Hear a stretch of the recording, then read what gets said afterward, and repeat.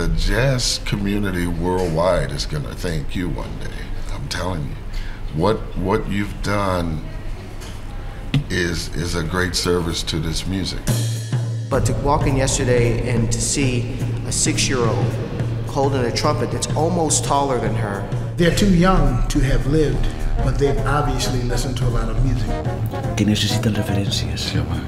Que es facin feliços. One, two, one, two, one, ah, ah. The musicians that are playing in this band, I, I think that uh, it should be documented and it can be, you know, sent around the world to say, hey, this is what we're doing here. And